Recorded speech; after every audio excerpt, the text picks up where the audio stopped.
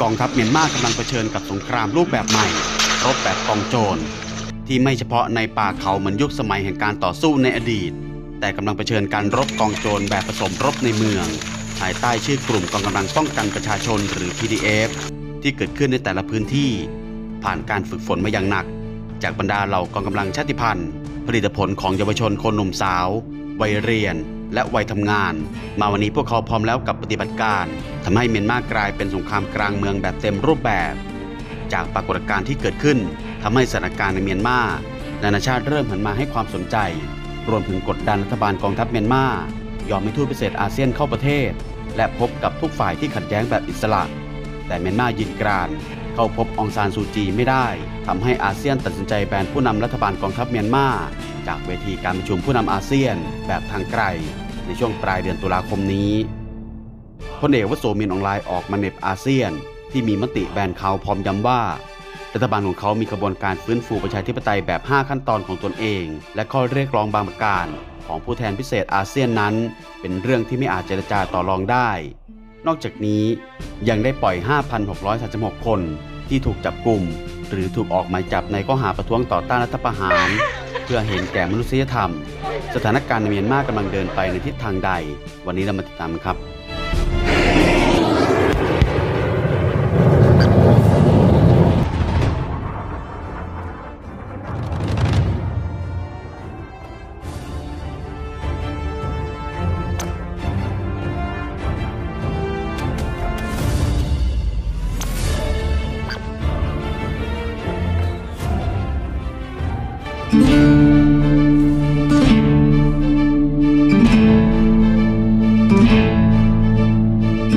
นี่คือหนึ่งในภาพจบหลักสูตรการฝึกลบกองโจรของเหล่ากองกำลังป้องกันตนเองหรือ PDF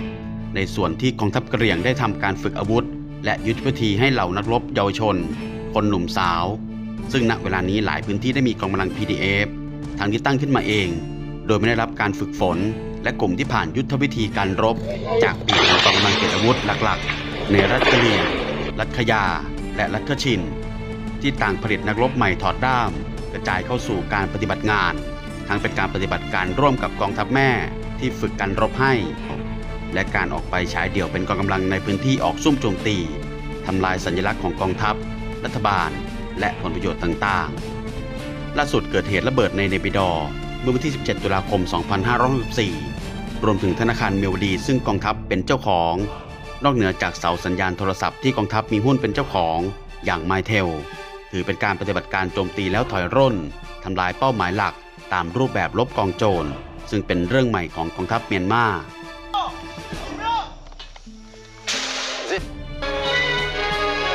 It was at an early hour. และตั้งแต่วันที่ specially สหภาพพ chosen by ม่าได้รับอิสรภาพจากสหราชอาณาจักร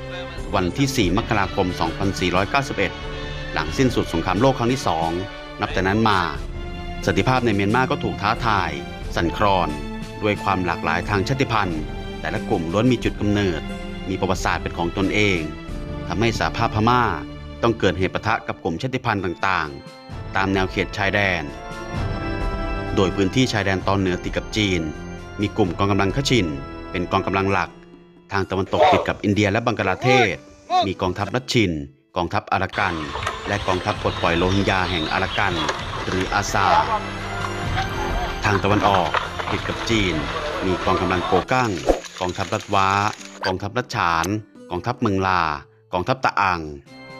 และทางตอนใต้ติดกับไทย มีกองทัพกะเหรี่ยง กองทัพขยา กองทัพรัฐมอน ส่วนใหญ่เป็นสมรภูมิป่าเขา มีแหล่งที่ตั้งฐานทัพชัดเจน ตามพื้นที่แนวตะเข็บชายแดน แต่เวลานี้การสู้รบได้ขยายตัวจากป่าสู่เมือง ผ่านกองกำลัง PDF ผสมกองกำลังติดอาวุธในแต่ละพื้นที่ที่สำคัญ ยุทธวิธีโจมตีแล้วหลบหนี ไม่มีฐานที่มั่นตายตัว แหล่งซุกซ่อนไม่ถูกเปิดเผยทำให้กองทัพเมียนมากำลังแยกไม่ออกระหว่างประชาชน และกองกำลัง PDF นอกจากนี้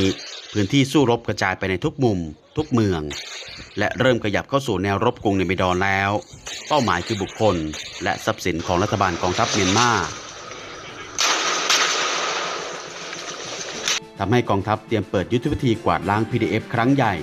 เล็งเป้าในรัชชิน ภาคสกาย และภาคมะแกวที่มีการต่อสู้อย่างหนักหน่วง รวมถึงในรัฐขยา รัฐกะเรียง และรัฐมอน ที่มีกองกำลัง PDF แข็งแกร่งทำงานร่วมกับกองกำลังติดอาวุธ เวลานี้พื้นที่กองทัพกระชิน และเหล่าบรรดาพันธมิตรฝ่ายเหนือ ดูเหมือนจะเป็นกองทัพเดียวที่ยึด และเข้าตีจุดยุทธศาสตร์สำคัญของเมียนมาจนควบคุมสถานการณ์ในกระชินได้อย่างเป็นระบบ ขณะที่รัชฉานยังเป็นสมรภูมิรมยำ RCSS โดยกองทัพรัชฉานเหนือกองทัพตะอัง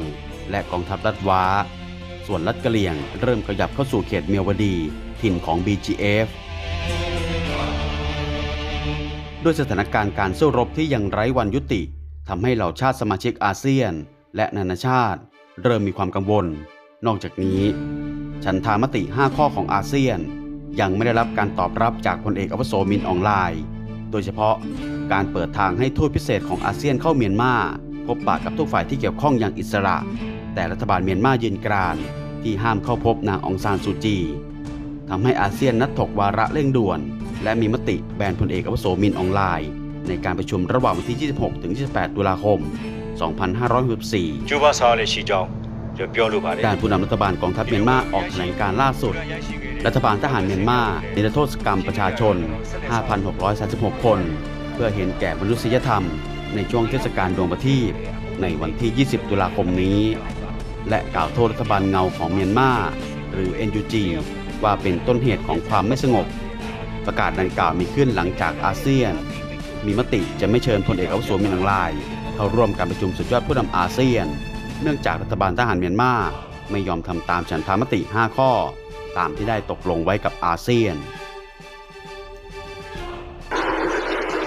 ทางนี้กองทัพเมียนมากำลังเผชิญกับแนวรบ ไม่เฉพาะการต่อสู้กับกองกำลังติดอาวุธเท่านั้น แต่กำลังเป็นการต่อสู้กับกองกำลังภาคประชาชน ด้วยการซุ่มโจมตี การวางระเบิด อย่างต่อเนื่องตามท้องถนน ซึ่งเคยเป็นพื้นที่ปลอดภัยเมื่อก่อนเกิดการรัฐประหาร เริ่มส่งผลต่อขวัญกำลังใจของคนในกองทัพ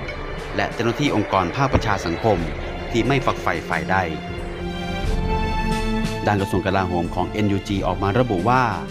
ระหว่างที่ 7 กันยายนถึง 7 ตุลาคม หรือในรอบหนึ่งเดือนที่ผ่านมา มีทหารของรัฐบาลกองทัพเมียนมา 429 คน และตำรวจ 334 นาย ติดต่อเข้ามาเพื่อขอแปรพักเข้าร่วมกับ CDM แต่ไม่ได้มีการเปิดเผยว่ามีผู้เข้าร่วมกี่คน นี่คือสิ่งที่กำลังเกิดขึ้นในเมียนมา เมื่อเวทีโลกเริ่มตื่น และเวทีอาเซียนที่เปรียบเสมือนเป็นครอบครัวเดียวกัน เริ่มหันมางัดมาตรการบีบคั้น แบนผู้นำกองทัพเมียนมาชนิดที่ไม่เคยเกิดขึ้นกับผู้นำชาติใดในอาเซียน บทสรุปสุดท้ายทางออกเมียนมาจะเป็นอย่างไร เวลาเท่านั้นที่จะตอบได้